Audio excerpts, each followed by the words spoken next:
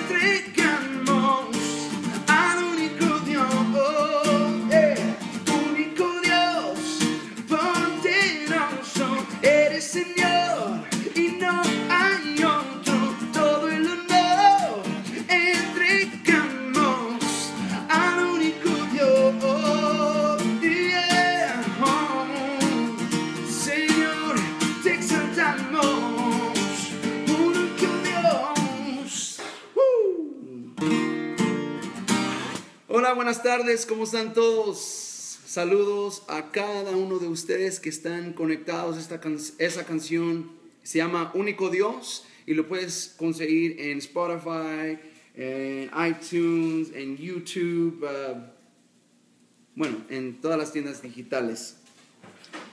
Pero antes de, antes de continuar, y gracias por conectarte, yo sé que estamos como dos horas, eh, un poquito más temprano en esta tarde, pero eh, vamos a tener una actividad en la iglesia, entonces mejor eh, quise hacerlo antes de eso. Y saludos a todos que están conectados desde Colombia, wow, ¿cómo estás? Sebastian. Bueno, eh, antes de, de- de platicar con ustedes, vamos a adorar al Señor un poquito más.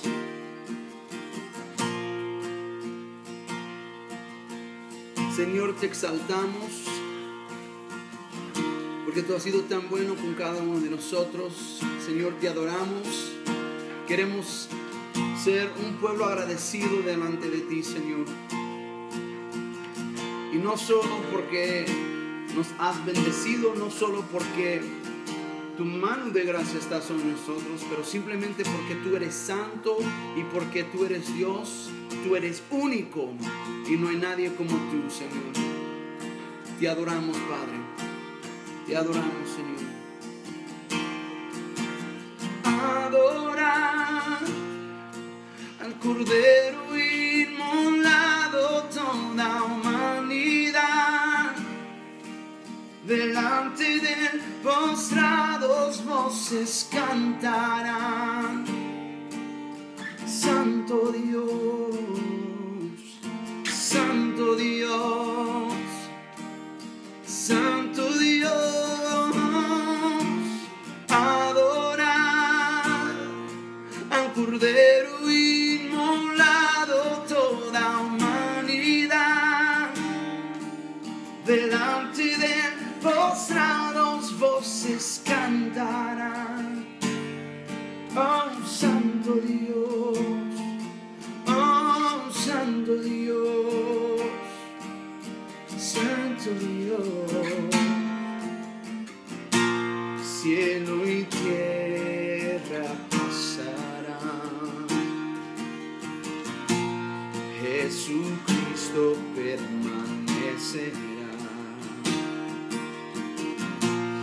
Cuando Él venga a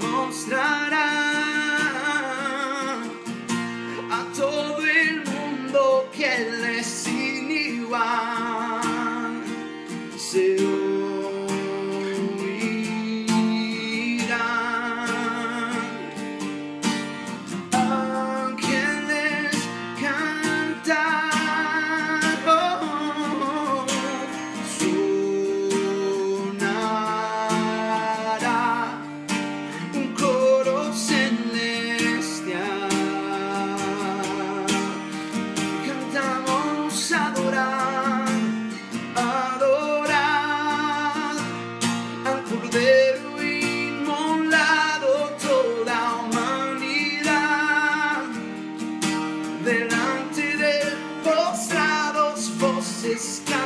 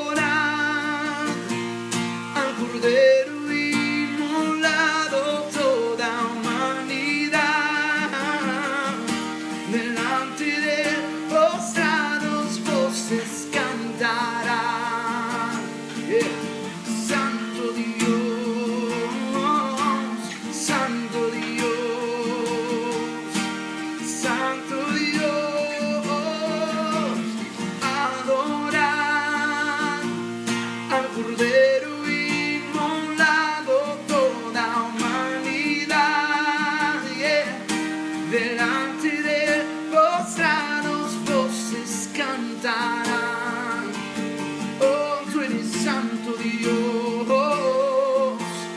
santo Dios, santo Dios.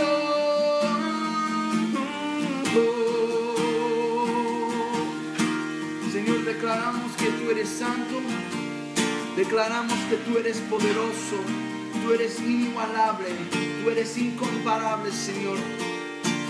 Y Señor, nos acercamos delante de ti solo para decirte, Señor, que tú eres todopoderoso y no hay nadie como tú, Señor. Te adoramos no solo por lo que has hecho en nuestras vidas, no solo por los milagros que hemos visto, no solo por las bendiciones que disfrutamos, pero te adoramos porque tú eres Dios y como tú no hay otro.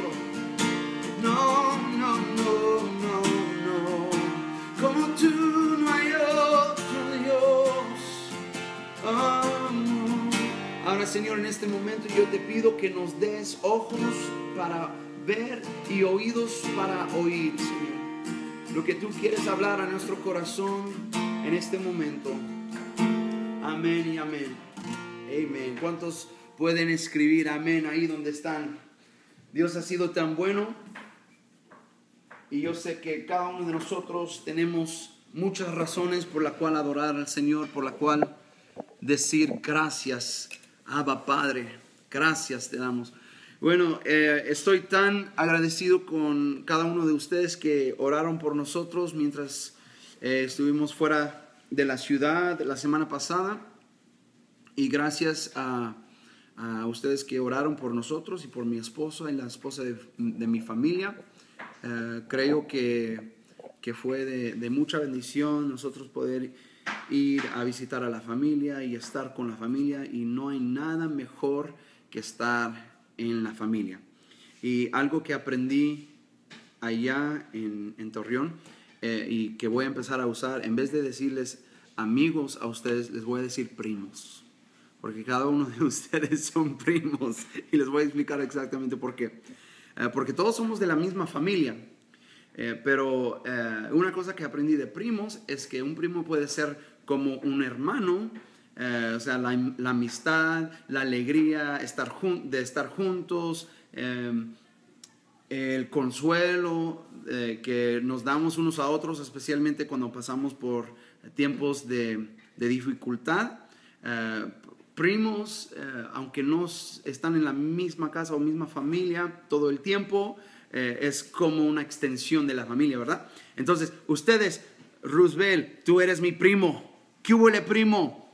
Y cada uno de ustedes son mis primos, porque aunque somos de la misma familia en Cristo y no vivimos en la misma casa, porque yo vivo en la casa Centro Internacional Aliento, ellos son mis hermanos y mis hermanas y ustedes son mis primos y primas en Cristo. Bueno, Samuel, tú también eres mi primo, Ah, pero sí pasamos ah, un tiempo muy, muy chévere allá en Torreón y y tengo que confesar que comí todo.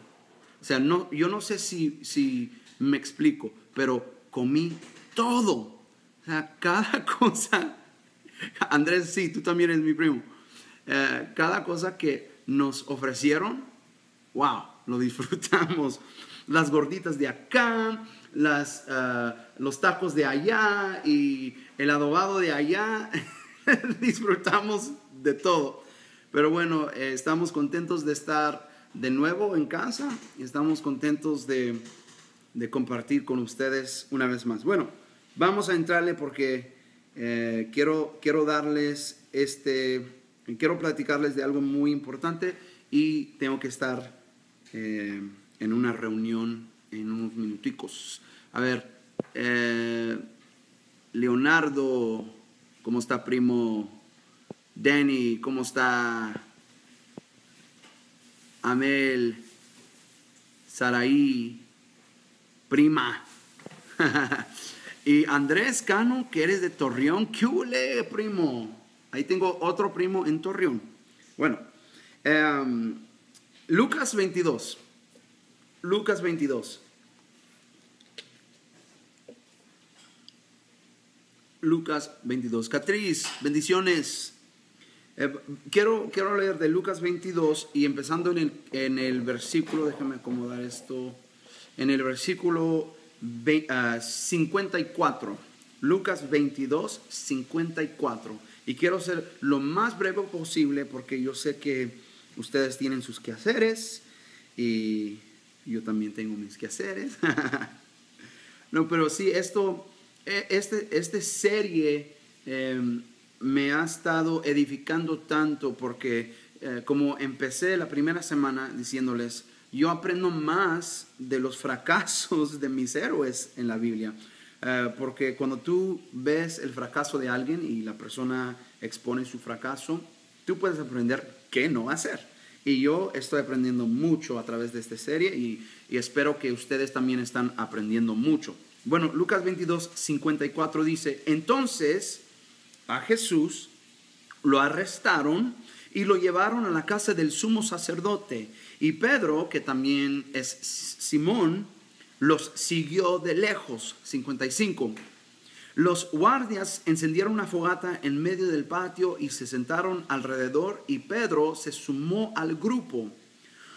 Ah, una sirvienta lo vio a la luz de la fogata y comenzó a mirarlo fijamente. Por fin dijo, este hombre, hablando de Pedro, este hombre era uno de los seguidores de Jesús. Pero Pedro lo negó. Mujer, ni siquiera lo conozco. 58. Después de un rato, alguien más lo vio y dijo, seguramente tú eres uno de ellos. En otras palabras, le estaban diciendo a Pedro, tú eres uno de los seguidores de Jesús. Y Pedro respondió, no, hombre, no lo soy. 59. Eh, Alrededor de una hora más tarde, otra persona insistió, seguro, este es uno de ellos, porque también es Galileo. Entonces ya la gente como que le estaba cayendo el 20 a la gente. Este es un seguidor de Jesús. Pero Pedro en el 60, pero Pedro dijo, hombre, no sé de qué hablas. Inmediatamente, mientras aún hablaba, el gallo cantó. Y ahorita vamos a hablar del gallo.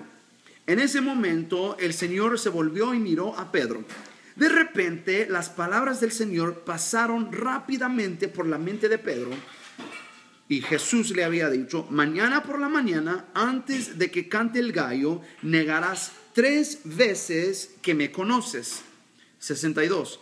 Y Pedro salió del patio llorando amargamente. Bueno, quiero hablar del fracaso de Pedro y ya es el parte número dos del pobre Pedro. Pero es que Pedro, ¿cómo?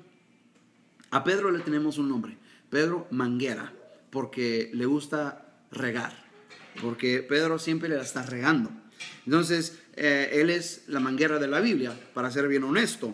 Y yo amo la vida de Pedro porque aprendo tanto de él. Y, vamos a hablar, eh, no, eh, yo sé que estoy hablando un poco, y no le estoy faltando respeto a Pedro, y después le voy a explicar exactamente por qué. Pero aprendí tres cosas de este fracaso específico de Pedro.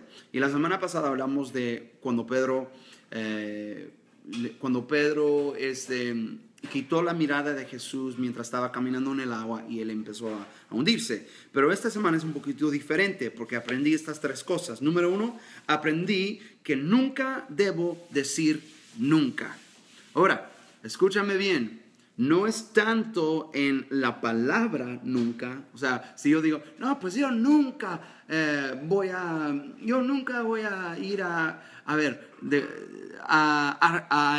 al Perú. Roosevelt, tú que eres de Perú, nunca voy a ir al Perú, ¿verdad?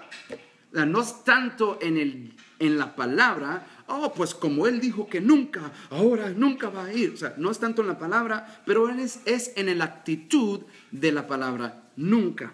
O sea, por ejemplo, pues yo nunca voy a ir a hacer y Roosevelt, consta que no estaba hablando del Perú, cómo quisiera ir al Perú. Eh, Perú, ¿es that where they have ceviche? Sí, ¿verdad? El ceviche es súper, bueno, eh, ya me salí del carril. Bueno, no es tanto en la palabra nunca, es en la actitud de nunca. Por ejemplo, si yo digo, pues nunca, nunca voy a ser pastor, nunca, jamás. Y yo, y yo sé exactamente eh, lo que es decir, nunca voy a ser pastor, eh, porque yo lo decía antes, eh, quizás porque mi papá era pastor y sí, los mariscos, Roosevelt. bueno, eh, yo, yo siempre decía eso. Y yo he aprendido también, como Pedro, que no es bueno decir nunca, porque ahora Dios me llamó a ser un, un tipo de pastor y pues estoy sirviendo como pastor. Eh, pero bueno, eh, en fin, Pedro nos enseña algo en su fracaso que nunca debemos decir nunca en el versículo 31 y 34, ahí mismo en el, eh, ¿dónde estamos? En el capítulo 22, Jesús le dijo a Pedro eh, que él lo iba a negar tres veces antes que el gallo cante. La respuesta de Pedro, era, pues yo nunca te voy a negar, Señor, nunca te voy a traicionar, como, como muchos de nosotros, ¿verdad? Cuando de recién nos, nos convertimos, Ah, pues yo nunca me voy a soltar de la mano de... Y, y sí, la verdad, nunca Dios te va a soltar, eso es muy cierto, pero a veces nosotros hacemos nuestro mejor esfuerzo de desconectarnos con Dios. Y Pedro dijo, pues nunca lo haré Jesús. ¿Cómo? ¿Cómo es que yo te voy a negar? Y tres veces. No, pues no puede ser. Yo aprendí, nunca di nunca. Y no es tanto en la palabra nunca, es en la, en la actitud de nunca. En otras palabras, tener la actitud de yo no podría fallar en esa área. ¿Qué aprendimos de la vida de Elías? Que nosotros tenemos la tendencia de fracasar en las áreas donde creemos que somos más fuertes. Por eso dice la palabra de Dios que el que cree estar firme, cuida, que mira que no cae. En otras palabras, Tú que crees que tú eres fuerte en alguna área, gloria a Dios que tú eres fuerte, el Señor te ha fortalecido, pero no debes depender en tus propias fuerzas, sino completamente y 100% en el Señor. Y también hay muchas personas que dicen, eh, cuando ven a un hermano o una hermana o un primo y prima en la fe, cuando lo ven que están eh, fracasando en algún área, dicen, pues yo nunca eh, yo nunca hubiera fracasado tan feo como aquel hermano y como aquella hermana. O sea, en otras palabras, no es en decir nunca, pero es, es en la actitud que esa persona tiene. Pues yo nunca, o sea, yo he aprendido algo en esta vida. Nunca te burlas de la cruz de alguien más simplemente porque alguien tiene una cruz más grande que tu cruz. Y cuando digo cruz estoy hablando de las cosas que tenemos que cargar, los pecados las cuales nosotros batallamos. O sea, eh, yo nunca jamás voy a burlarme de la cruz de alguien porque lo he hecho y he cometido un gran, eh, un gran error y me he arrepentido por haber burlado de la cruz de alguien más. En otras palabras, diciendo, pues ¿por qué está batallando tanto en esa área? Yo no batallo tanto en esa área. O sea, esa actitud es la que nos va a llevar a la derrota. Ah, ¿Qué dices, Eric? Por eso digo, nunca escupes al cielo porque te puede regresar hacia tu rostro. sí, cierto, Eric. Sí, es muy cierto. No lo recomiendo. Bueno, ah, número dos, la segunda cosa que aprendí. Aprendí que el diablo tiene permiso permiso para tentarme. Yo no sé si lo escucharon muy bien, pero escucha lo que estoy diciendo. El diablo tiene permiso para tentarte. El diablo tiene permiso para tentarme a mí. Eh, léelo en la vida de Job, en el libro de Job, en la vida de Job, cuando el diablo va con Dios, entra al cielo y habla con Dios y le pide permiso a Dios si puede zarandear a Job. Léelo, tú lo puedes ver ahí claramente. Eh, también lo podemos ver aquí en el versículo 31 del mismo 20, ¿dónde está? Ya se me olvidó, del mismo 22. También lo puedes leer ahí. Eh, que Jesús le dijo a Pedro, Satanás ha pedido zarandear a cada uno de ustedes como si fueran trigo. Satanás tiene permiso para tentarnos. O sea, eso es obvio. Entonces, eh, leemos, si siguen leyendo, y yo, ¿sabes qué? Yo quiero animarles que después de esto, hoy o mañana, que, lean todo el capítulo 22 de Lucas, porque es tan importante todo lo que, todo lo que ocurrió antes de que eh, crucifican a Jesús. Pero bueno, eh, regresamos. Jesús está diciendo, Satanás pidió permiso y él tiene permiso para tentarnos. Entonces, eh, si tú crees que nunca vas a ser tentado, mi, mi, eh, mi primo, quiero decirte algo, que no es cierto. Siempre, siempre, siempre Él tiene el permiso para hacerlo. Ahora, mira lo que dice Jesús. Jesús le dijo en el versículo 40, oren para que no cedan a la tentación. Y sabes qué? No es tanto en el orar, porque también Jesús nos da otra solución. En la versión de Marcos, y quiero que lo anotan, Marcos 14, 37 y 38. Una vez más, Marcos 14, 37 y 38. Y si aún no lo has marcado, no lo has guardado, te lo doy de nuevo. Marcos 14, 37 al 38. Jesús le dijo a Pedro esto. Le dijo, Pedro, Simón, ¿estás dormido? ¿No pudiste velar conmigo ni siquiera una hora? Velen y oren para que no cedan, para que no cedan ante la tentación, porque el espíritu está dispuesto, pero el cuerpo es débil. Jesús nos da la solución ahí. Sí es cierto, el diablo tiene permiso para tentarte, pero tú tienes que estar alerta y orando para no ceder a la tentación. Por eso dice la palabra de Dios que cuando resistamos al enemigo, él huye. Y la única manera de resistir, mira, tú no puedes resistir al enemigo si estás dormido. Si estás con tus ojos cerrados y ahí descansando y quizás aún roncando, tú no puedes, eh, eh, el enemigo te va a zarandear. Y eso es lo que le pasó a, a Pedro. Él no estaba preparado ni siquiera físicamente o aún espiritualmente, porque estamos leyendo que hubo un tiempo donde estaban orando, donde estaban, era un tiempo para velar, era un tiempo para orar, era un tiempo para estar alerta y Pedro no estaba alerta. Y yo quiero decirte que tú tienes que despertarte, tú tienes que estar alerta. Ahora, hay muchas cosas que, que están en nuestra contra. Por ejemplo, yo voy a ser muy práctico en este momento, ¿ok?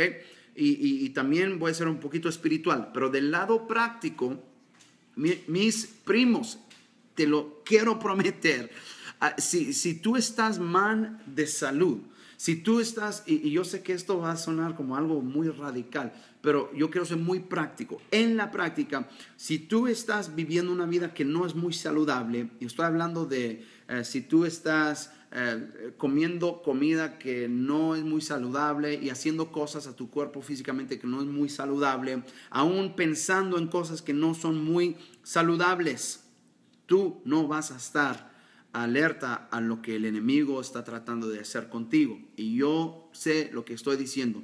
Yo pasé por años donde yo comía demasiado, o sea, comía, o sea, lo que yo hice la semana pasada comiendo los tacos y, las gorditas y todo eso, nada que ver, yo comía como animal, para ser muy honesto.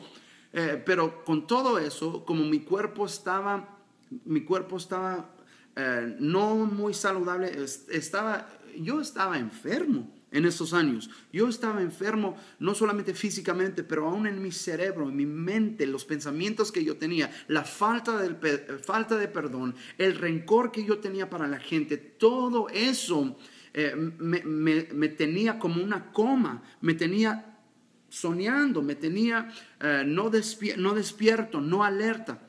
Y yo quiero decirte, eso es algo muy práctico. Ahora, del lado espiritual, si nosotros no estamos buscando a Dios, si nosotros no estamos orando, no estamos leyendo la Biblia, no estamos escuchando mensajes eh, que edifican nuestro cuerpo, eh, que edifican nuestro espíritu, y si no estamos adorando a Dios, escuchando música cristiana, todo eso es importantísimo. Mis primos, les estoy confesando una gran verdad. Todo eso tiene mucho que ver con la habilidad y el acceso que le damos al enemigo. O sea, Él nos va a tentar, eso ya está por seguro. No, podemos, eh, no podemos hacer, eh, no podemos decir, no, pues tú no me puedes tentar. Él te va a tentar. Por eso dijo Pablo, eh, perdón, por eso dijo Pedro, a ver si lo tengo aquí. Pedro dijo en, en, su libro, primera de Pedro 5.8, estén alerta, cuídense de, de, su gran enemigo, el diablo, porque anda acecho como un león rugiente o buscando a quien devorar. Entonces Él va a estar buscando a, a quien devorar. Él va a estar tentando a la gente. Él va a estar tentando a mí y tentando a ti. Lo que tú tienes que hacer es prepararte espiritualmente y físicamente. Eso tiene mucho que ver. Por eso yo les animo a que eh, salgan afuera y hagan sus ejercicios, que coman saludable, que leen la Biblia, que escuchan música cristiana, que, que, toman un tiempo simplemente para, para escuchar de Dios, para orar ante la presencia de Dios.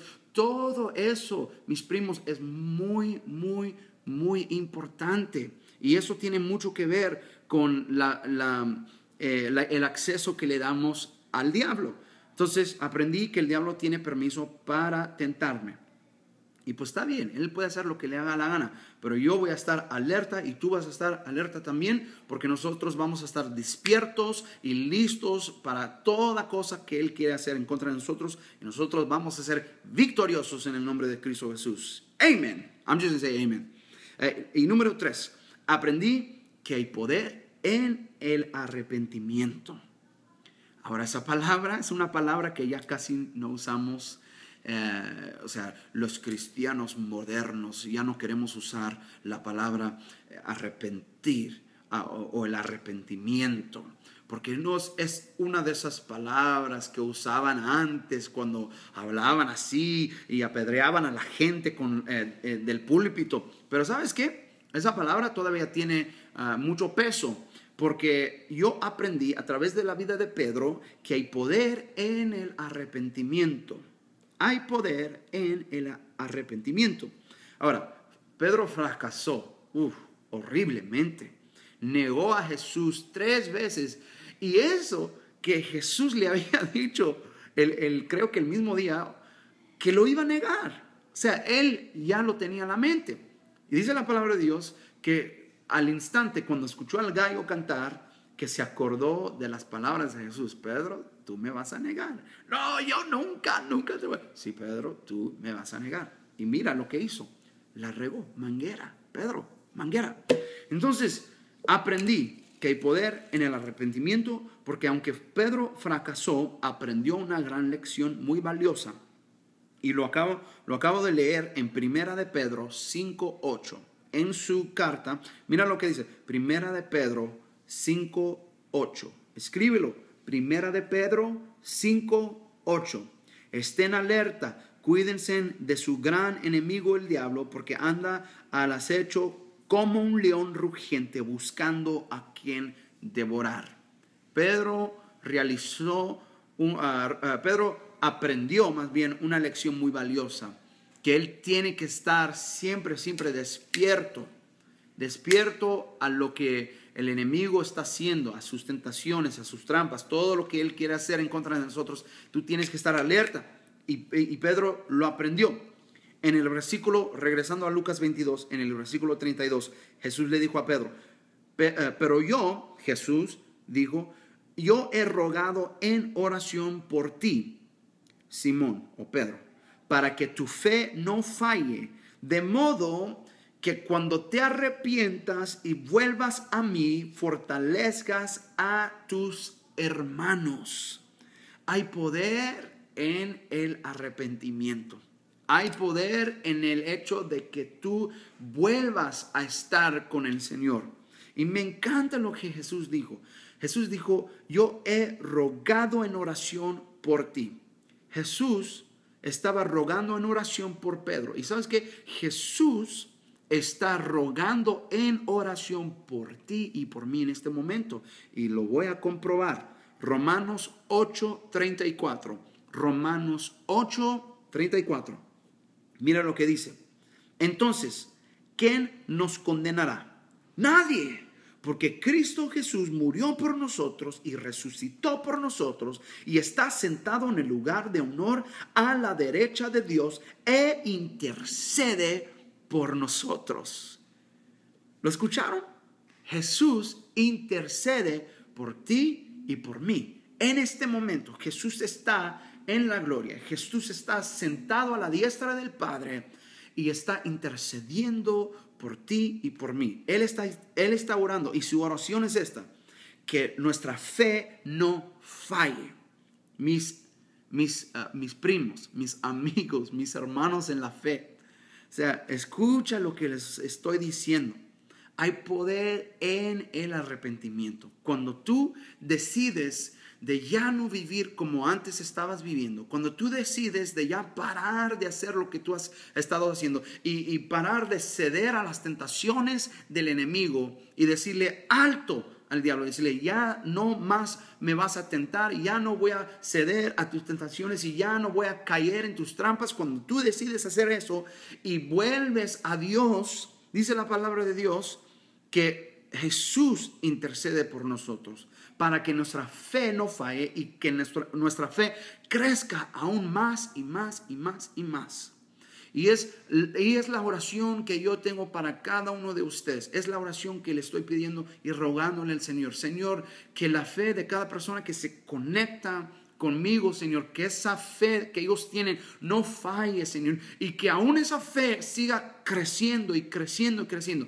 Y con el crecimiento de esa fe, yo estoy pidiendo que Dios va a incrementar su gracia sobre gracia, sobre gracia, sobre gracia, sobre cada uno de ustedes. Y yo te aseguro que si nosotros tenemos la gracia de Dios y si tenemos fe que no falle, que no falla, una fe eh, que no se puede romper porque es la fe que Dios nos está dando, no vamos a ceder a las tentaciones del enemigo. No vamos a fracasar y vamos a aprender de las lecciones de la palabra de Dios. Entonces, ¿qué aprendí del fracaso de Pedro? Número uno, aprendí que nunca debo decir nunca. En otras palabras, nunca tener la actitud de, no, pues eso nunca me puede pasar. Número dos, aprendí que el diablo tiene permiso para tentarme pero está bien, si él tiene permiso, pues está bien, pero yo voy a estar alerta, yo voy a estar velando y orando y buscando a Dios. Y no solamente eso, pero de manera práctica voy a estar comiendo saludable, voy a estar haciendo mis ejercicios, voy a tomar tiempo para estar en la presencia de Dios. O sea, todo eso es muy importante. Y número tres, aprendí que hay poder en el, en el arrepentimiento. Yo aprendí que aunque yo eh, paso por mi momento de debilidad y aunque yo paso por un fracaso y, y cometo un error, yo sé que yo puedo arrepentirme y volverme a Dios y Él me va a recibir tal y como soy. Y sabes que yo, yo quiero declarar que si tú te aferras a Dios, tú no vas a tener estos mismos fracasos. Mis hermanos, mis amigos, mis primos, nosotros no vamos a fracasar así como estos héroes de la fe fracasaron, porque nosotros eh, estamos aprendiendo de las lecciones. Pero, pero yo quiero decirte, vamos mejor a aprender de las lecciones y no tener que vivirlas, o sea, no tener que vivir las mismas errores, porque aquí tenemos la palabra de Dios, aquí tenemos todas las lecciones que necesitamos. Entonces yo quiero orar por cada uno de ustedes. Señor, yo te doy gracias por tu gracia la cual no merecemos. Yo no merezco tu gracia, yo no merezco tu amor. y ninguno de nosotros merecemos tu gracia, Señor. Pero yo te doy gracias, Padre, Y yo te pido, Señor, que nos ayudes a cada uno de nosotros, que podamos aprender de estas lecciones, Señor, que podamos aprender de los fracasos de tus siervos, Señor. Y yo sé que los fracasos que ellos vivieron, Señor, no fueron uh, y no fueron, ah, no es una pérdida completa, sino que hay una lección que nosotros estamos aprendiendo. Y hoy aprendimos, Señor, algo muy importante. Aprendimos, Señor, que, eh, que, que el diablo tiene permiso para tentarme. Pero Señor, yo te pido que nos ayudes a cada uno de nosotros a estar alertas y estar velando y orando, siempre, siempre buscando de ti, Señor. Y no solo en eso, también en nuestra alimentación, también en nuestro cuerpo físico, nuestra mente, nuestros pensamientos, Señor. Que podamos también eh, tener un buen equilibrio en el cuerpo físico, tanto en el cuerpo espiritual. Señor, aprendimos que no es bueno tener una actitud de que yo nunca puedo ah, fracasar. Señor, ayúdame a no confiar en mis propias fuerzas. Y aprendí, Señor, que hay poder en el arrepentimiento. Gracias, Señor, que tú nos das una habilidad de reconocer que hemos cometido un error, que tú nos das, eh, eh, eh, tú nos das, Señor, la revelación que tenemos que arrepentirnos. Y Señor, yo te doy gracias por todo lo que has hecho y por todo lo que has, por todo lo que harás. Yo bendigo a cada persona que está conectada en este momento, cada hogar representado en este momento, Señor. Yo bendigo a cada hogar, cada hijo, cada hija, cada familiar, Señor. Los bendecimos en el nombre de Cristo y declaramos tu paz que sobrepasa todo entendimiento en nuestra mente, en nuestros pensamientos, en nuestro espíritu, en todo, Señor. Y gracias por tu amor y tu misericordia. Te damos a ti toda la honra, toda la gloria. En tu nombre pedimos todo. Amén. Amén amén. Bueno, ah, primos, muchas gracias porque han tomado el tiempo para conectarse aquí a las 6:40. Eh, y perdón que estoy cambiando el, el, ah, el horario, pero voy a, creo que el próximo martes ya vamos a regresar a las 8 de la tarde. Bueno, si no nos vemos antes, eh, nos vemos primero Dios el próximo martes. Que el Señor les bendiga.